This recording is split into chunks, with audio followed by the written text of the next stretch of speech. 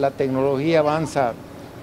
a pasos agigantados y esta ha sido una petición también que emana, tal vez no institucionalmente de parte del Tribunal Supremo Electoral,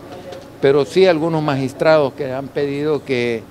se ve después el uso de los drones sobre las instalaciones de donde se esté haciendo el escrutinio. No, no sé cuál va a ser la mecánica. Yo creo de que la mayoría de los drones viene de parte de ustedes, de los medios de comunicación, pero tampoco no descartamos que alguna persona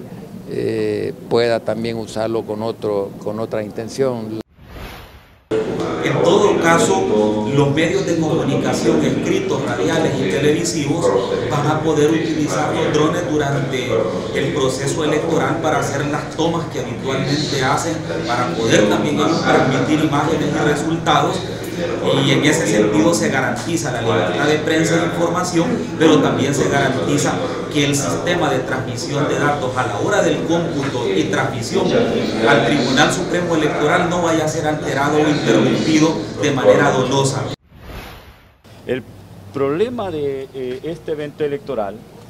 eh, y del acontecimiento que recientemente pasó en la Feria Internacional, nosotros sospechamos de que pueden haber mano criminal en ese atentado recientemente de uno, eh, en uno de los pabellones de la Feria Internacional. Y eh, nos hemos puesto a pensar qué pasaría, eh, digamos, la Feria Internacional con una gran cantidad de gente adentro, alguien que obviamente quiera asustar y, y provocar una situación de caos.